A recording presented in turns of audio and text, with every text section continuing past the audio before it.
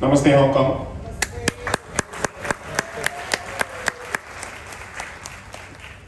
Or should I say Namaste, Bharat in Hong Kong?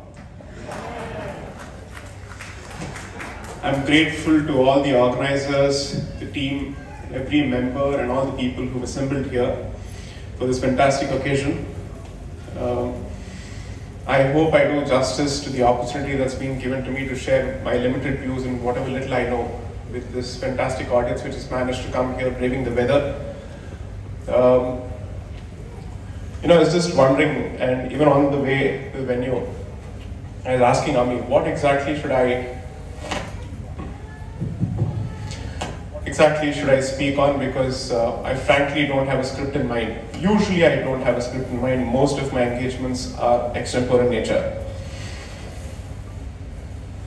So I was thinking of something very uh, momentous, which is which is perhaps the subject of discussion for over a week in Bharat and outside of Bharat, but about Bharat, which is the transition from India to Bharat. So exactly a century ago, we were under His Royal Highness Emperor George V in 1923. We were part of his empire. We were part of the British Empire. 2023, from India that is Bharat, we are perhaps looking at a transition from India to Bharat. Allow me to read a few things or a few extracts from my first book. This is not to sell the book any further, it has already sold itself well. The idea is to perhaps give people some kind of material, some kind of a context, or some kind of a sandarbh, so that you have uh, an idea as to what is this entire debate that's going on in Bharat about.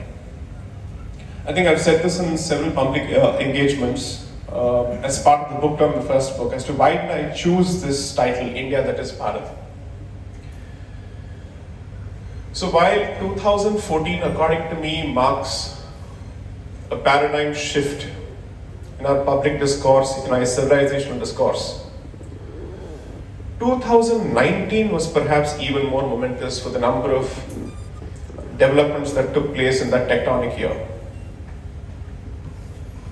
I don't know how many people have actually paid attention to this, but there has been a rapid rise in Bharatiya consciousness during and post the pandemic.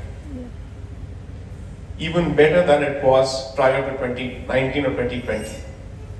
There are multiple reasons for it. One, 2019 saw a slew of developments, each of which touched upon our civilizational or legacy related issues. And 2020, I think from February or March, for close to five to six months at the very least, people were forced to sit within their homes and they had nothing else to do. And it gave them enough time and opportunity to think about all these developments and process it. And this was also the time window when a lot of people were exposed to lectures and public engagements and interactions by people like Ami, Anand Ranganathan, so on and so forth. Post 2020, after the unlock began, when I started the book tour around, I think September 2021,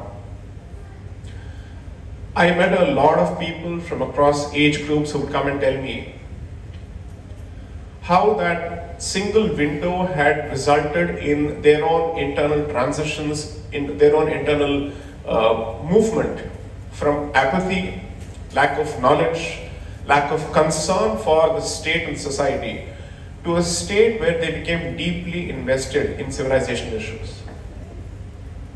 I don't mean to sound insensitive, but I certainly believe that the pandemic and the lockdown was a huge phase of learning for a lot of people, especially on the civilizational front. At least from a Bharatiya perspective, that has been our experience. Now, during that period, while I was Uh, delivering lectures on the CAA and several other issues, I had one student of Indian origin who was pursuing his master's in the United States, who objected to a particular tweet of mine. I had used Bharat instead of India in one of my tweets. And I was accused of narrow mindedness and whatnot because I'd used Bharat instead of India. And the question that was put to me was where is the sanction in the Indian constitution for the use of Bharat for India? At which point, I had to extract Article 1 of the Constitution as a response to that particular tweet. And when I extracted it, I got perhaps the most fantastic response I've ever received in a debate as a sign of free speech. He blocked me. I was immediately blocked. So the reality perhaps is truth does not translate to engagement, it results in blocking. that seems to be the current atmosphere. In any case, I think the churn has just about started, the game has just about begun. The transition from India to Bharat has just about started. Before I proceed to engage with you on certain other issues as to what does this translation or this, this transition translate